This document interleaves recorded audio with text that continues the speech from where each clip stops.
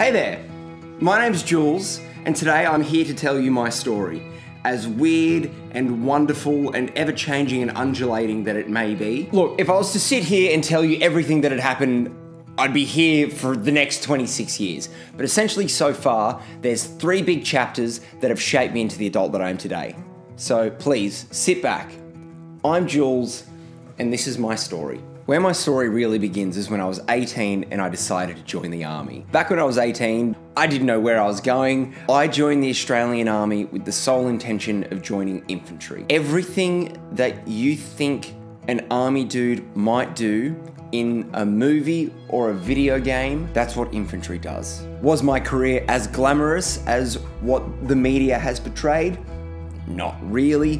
Why do I even mention that is simply because there is a disconnect between what is perceived about the army and what it's really like. I was lucky enough to spend seven months deployed to Afghanistan where I was a force protection element for coalition officers. It was good. It, it was honestly the highlight of my career. There were no incidents, no one was harmed, no one was injured. We did our job and then we came home to Australia. Upon returning to Australia, you are met with the normal army, getting towards my four to five year mark. Just working so hard after coming back from a war zone did did take its toll. I was just exhausted. I was just knackered. Like I began asking questions. What road am I going down? So essentially, after a few bad days of work, I'd saved up my pennies, bought an apartment, and decided to go drink beers by the beach. Two months after leaving the army, whilst in the surf, I snapped my leg clean in half, resulting in it nearly needing to be amputated. It sucked. The break was bad, like really, really bad. I nearly lost a limb.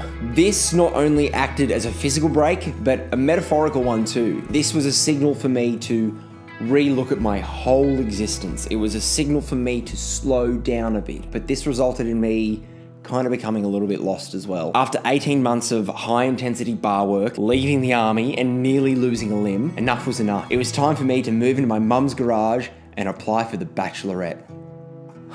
Look, long story short, I was on TV. I ended up on TV for about a year. I'm not gonna go into it, that story has already been told, but being a part of that experience, being a part of that world, reignited my calling for creative arts. That creative fire has never gone out. My year six teacher always said, don't die with the music inside you. And I believe that for anything creative, I have to get it all out of me before I die. I am ready to learn. I want to learn.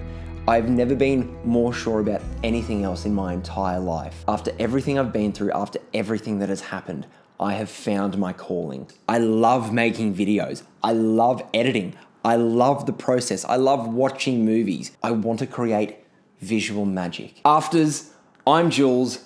That's my story. Will you help me tell it? Do you reckon we got it? Yeah.